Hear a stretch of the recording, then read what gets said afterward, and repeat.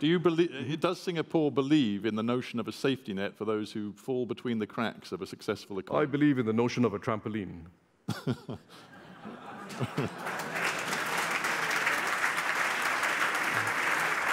yeah. It's 2015, and BBC journalist Stephen Sackur is grilling Singapore's Deputy Prime Minister Tharman Shanmugaratnam about its policies. They are at a symposium in Switzerland, and Sackur is asking some tough questions about democracy and human rights in Singapore, a country that doesn't have many of the freedoms that many Western countries have. They are currently discussing what is, by Tharman's own admission, Singapore's most intrusive social policy. Let's see what we can learn from how Tharman responds to Sackur. To some of our sensitive flowers in the West, the, the authoritarianism that underpins that approach to managing a society feels uncomfortable to us. Yeah, so that's, that's a, a caricature. I mean, even the Economist, which is not exactly a cheerleader for Singapore, uh, has, uh, would say, as it just did on its, in its um, uh, editorial form of obituary when Mr. Lee Kuan Yew mm. passed away, uh, that Singapore has free, fair, and regular elections. We are a parliamentary democracy, not in a, exactly the same mold as Britain or the United States, certainly. No, I mean, but we are a parliamentary democracy, and an elected government makes decisions which it feels are the best in the best interests of the country today and for the future. And we, we are accountable for it. Notice how Tharman focuses on the good things Singapore has. He also anticipates counter-arguments by agreeing that some of Singapore's institutions are different from Western countries. Finally, he explains that policies are done in the best interest of the people, thus providing a reason for government policies which Sackur considers authoritarian. Sackur then questions whether Singapore is a true democracy by questioning a specific policy. Yeah, I mean, it's a democracy of sorts. You, you don't have a genuinely free truly liberated press. Not in the British sense. No, well, but, not, not in but, any sense. I mean, uh, but in the uh, much as I'd like to take credit so, for the notion yeah, of a free press, well, it's not I, a British idea. I, I didn't mean it entirely as a compliment, but I, but as a as a description. Uh, you, but as a description. Tharman uses humor to his advantage and gently advances his point despite repeated interruptions from the interviewer. Sackur then tries to corner Tharman by giving a specific example. You are missing page three of the Sun newspaper, and that's no great loss, I agree. But, but, but actually, there is a serious point. When, when journals that are respected and, and have a role to play, yep. like you know, the Far East Economic Review, yep. for years and years mm. are hounded by yep. no, government. the, the rules are very clear and simple. Um, uh, Singapore is an extremely open society by virtue of the number of foreign publications that are circulated, you know, well over 5,000, the fact that Singaporeans are probably more than any other society broadband penetrated, the fact that uh, they're English educated and have, have access to a whole world of information on the internet, it's an extremely open society. There's no doubt about it. We are unconventional in requiring in our laws that we have the right of reply when foreign publications publish something that we feel is false or misleading. We just have the right of reply. And when publications, as you know very well, uh, refuse to publish uh, a reply, we impose uh, uh restrictions on them that affect their advertising revenues. Unconventional, you might not agree with it, but the larger point is this. I think we all need some humility. We all need some humility on the ways that best advance a liberal order. To take Lord Griffiths' point this morning, a liberal order economically, socially, and politically. We all need some liberty, uh, some, some humility as to how we achieve that, not just for today, but for tomorrow. How do you sustain it? How do you best sustain it? The most thoughtful observers mm. in the West of the view that you need some buffers, you need some margins of safety, and you need some compromises on some liberties in order to achieve others. And the, a free med, the freest possible media is not the only liberty we aspire to. I, I do think it's a good idea, by the way. It appeals to my ideals, but it's not the only liberty you aspire to.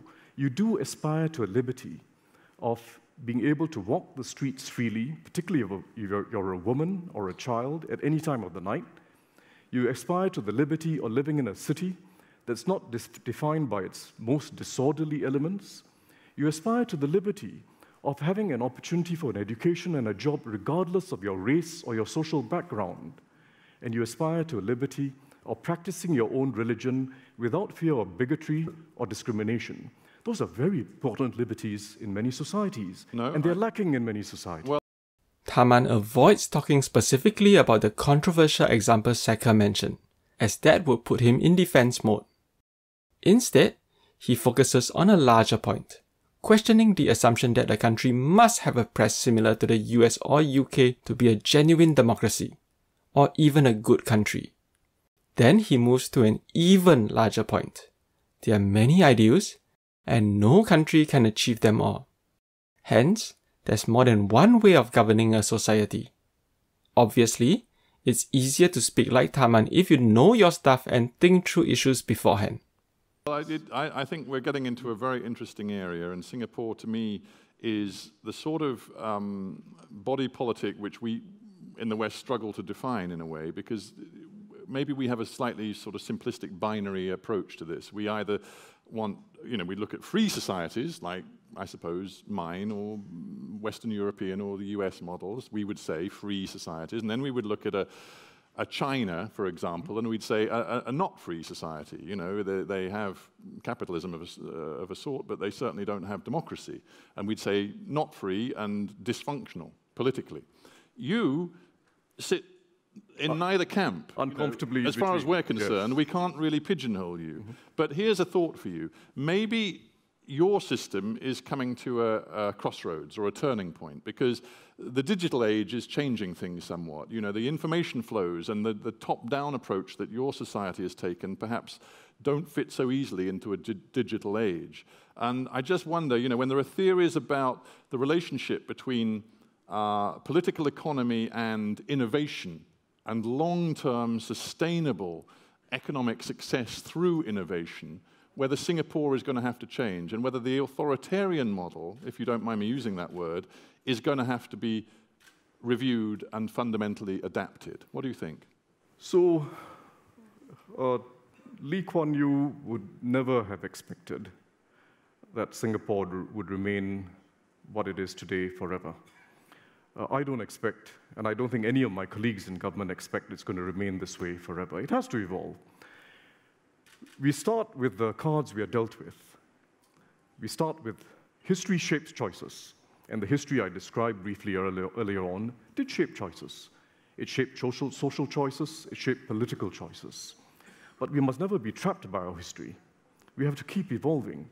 And it is, it is a worthy ideal to aspire for a system where individuals are well educated, are good judges for themselves, of the information they read on the internet or on the media are able to make their own minds up. I think that's a very that's a worthy ideal to, to, to aspire towards.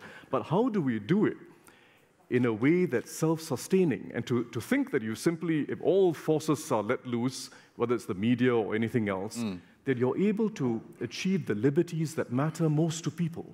Safety, freedom of, of, of religious belief, the freedom to aspire in life and achieve what you want through hard work.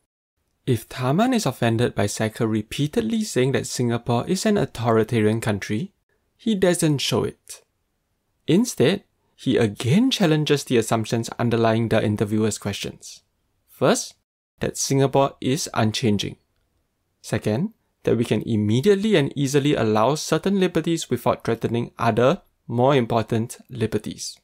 But, Those there, yeah, but uh, simplistically put, is there going to be room for more individualism in Singapore yes, it's in the future? So if you look at Singapore today compared to not even 50 years ago, 10 years ago, it's a vastly different place. It's a vastly different place. Singaporeans are educated, discerning, skeptical, and critical people. They know what's what. There's no doubt about it. And Singapore continues to evolve. It's a function, of course, of the fact that we've had some success in education. It's a function of the fact that, as you say, it's a digital world, it's an open world. So there's no doubt about it. But let's not think that we are all moving teleologically towards that destination that you now see in the United States or UK. We'll all have to evolve, and we all need some humility as to how we progress democracy. Tharman repeats what he did previously and does even better. In the final sentence of his answer, he gently calls out the interviewer's ideas by saying we all need to be humble as to how democracy progresses. A few minutes later, the conversation progresses to whether Singapore has a safety net. Given Singapore has neither unemployment insurance nor a minimum wage, questions on this topic can be very tricky. Do you and believe in the concept of a safety net? So we, we believe in a concept of support for you taking up opportunities. So we don't have unemployment. I believe in the sometimes simplicity of yes or no answers. What about so, this idea of a safety net? Do you believe? Mm-hmm. Does Singapore believe in the notion of a safety net for those who fall between the cracks of a successful economy? I believe in the notion of a trampoline.